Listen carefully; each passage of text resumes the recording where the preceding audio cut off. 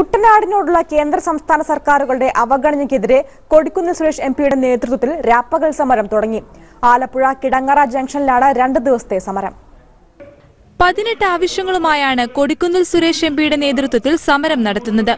കുട്ടനാട്ടിലെ കുടിവെള്ള പ്രശ്നം റോഡുകൾ നെല്ല് സംഭരണ തുക വിതരണം കൃഷിനാശത്തിന് നഷ്ടപരിഹാരം അടിസ്ഥാന സൗകര്യ വികസനം ഓരുമുട്ട് നിർമ്മാണം പോളം നിർമ്മാർജനം എന്നിവയെല്ലാം മുൻനിർത്തിയാണ് സമരം.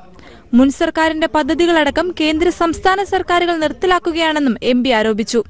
ഈ സമരം കുട്ടനാട്ടിന്റെ സാധാരണക്കാരായ ജനങ്ങൾക്ക് വേണ്ടിയുള്ള കുട്ടനാട്ടിലെ കർഷകർക്ക് വേണ്ടിയുള്ള കുട്ടനാട്ടിലെ പാവപ്പെട്ട ജനങ്ങൾക്ക് വേണ്ടിയുള്ള ഒരു സമരമാണ്. കുട്ടനാട് മേഖലയിലെ ജനപ്രതിനിധികളും യു ഡി എഫ് നേതാക്കളും പ്രവർത്തകരും സമരത്തിന് പിന്തുണയുമായി എത്തിയിട്ടുണ്ട്. മനോരമ ന്യൂസ് തിരുവല്ല